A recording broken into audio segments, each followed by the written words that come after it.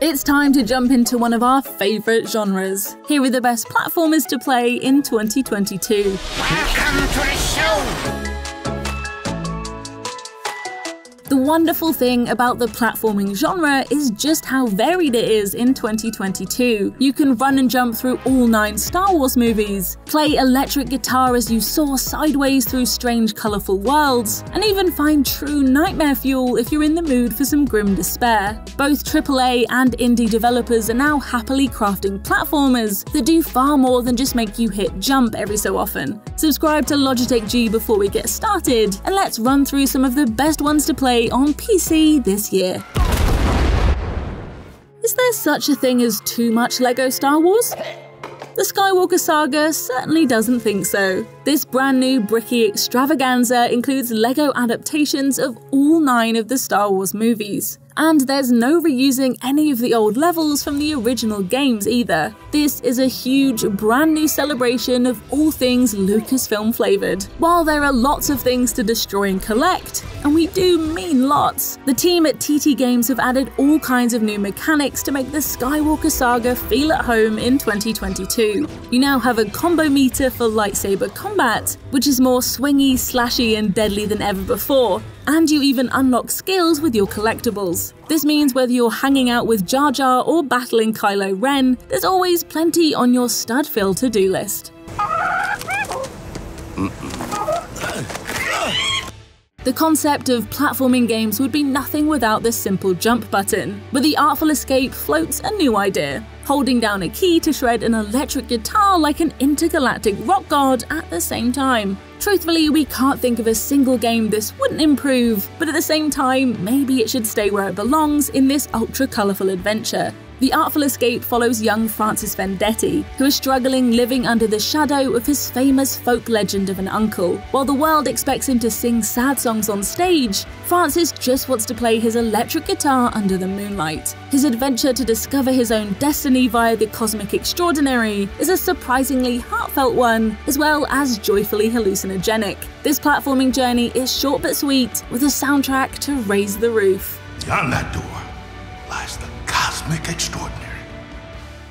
Hey look, another excuse to talk about It Takes Two. If you've watched any of our videos over the last year, you might have seen this gorgeous co-op adventure mentioned once or twice, okay, ten times. But it's for a multitude of very good reasons. Cody and May's 3D platforming journey has been fully designed for split-screen co-op play, whether that means sitting with a friend or partner IRL, or connecting online with the game's generous free second player option. Everything you do is all about teamwork. As Cody and May try to, well, get themselves turned back into humans from tiny dolls, they explore a variety of beautiful zones with abilities that work in perfect harmony. That can mean being literal hammer and nails, and even magnets with different attractions to explore a world that just keeps getting more imaginative. This is co-op platforming perfection.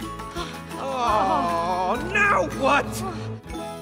Let's follow up one perfect platformer with another, shall we? And the best news is that Psychonauts 2 is single player, so you don't even need to depend on another human to journey inside minds with young Razputin and his frankly brilliant goggles. This is definitely another highlight from 2021 that's constantly mixing things up with the powers of telekinesis and even a handy pyromania ability. Those who are afraid of dentists might be somewhat squeamish about the start of the game, but push past the molars, yes, sometimes quite quite literally, and this opens up into a magnificent and downright hilarious adventure, with all kinds of brilliant characters that make you feel like you're exploring a darkly twisted Pixar movie. It feels frankly ludicrous that this game is available for free on Xbox Game Pass, so what are you waiting for?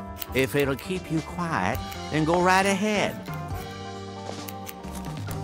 If you thought that the best of Crash Bandicoot was in the past, or at least in the recent remasters, you'd be very wrong. With 23 years since Crash 3 Warped, to use the words long awaited for Crash Bandicoot 4 It's About Time feels a little like an understatement. Everything you expect from the adventures of the Orange Marsupial are here. Thrilling, platforming adventures packed with running, jumping, and spinning, characters we know and love. There's even an included option to play as Coco if you want to leave Crash behind for a bit, and even fresh new abilities that don't feel alien in Crash's world, but still make it truly feel like a sequel. If you want to plug into nostalgia that gets it just right, you'll want to spin this way.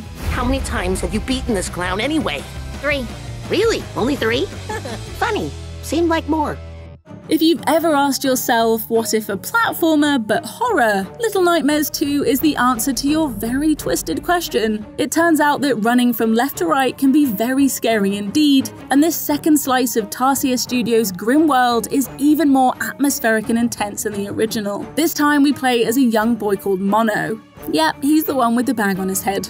And while you can see two characters on screen, this isn't a nice experience where you can play with a friend to make it less scary. Believe us when we say that this is no It Takes Two. Instead, this means that Tarsier can ramp up the tension when you have to work together. This is a game that lives up to its title, packed with truly horrifying surreal imagery that will absolutely sneak into your nightmares. Oh, and watch out for bear traps. No, really. And finally, let's end with some reactive platforming on four wheels. It's time to take a trip to the totally gnarly island of Radlandia. We we said that in Skater speak. Well, the good news is that your knowledge of the lingo takes a back seat here, as you hurtle sideways across colourful skate courses and chat to friendly faces. Once you've personalised your skater, you're faced with an entire island worth of levels, packed with stairs and drops just waiting to trip you up. Even finishing some of the levels feels like a serious achievement, as you trick your way over gaps and link up grind combos. But there are also sets of challenges to make sure there's always something to come back to. Whether that's doing heel flips over beach huts or trying to catch inflatable fish, you're going to spend hours here. And if you don't mind, we're going back in. So those are some of the best platforming games you can play right now. Let us know your jumpy favourites in the comments below, drop us a like if you enjoyed the video, and subscribe to Logitech G for more videos just like this one. If you already subscribe, thank you. Make sure to click the notification bell so you know exactly when our next list lands on the channel.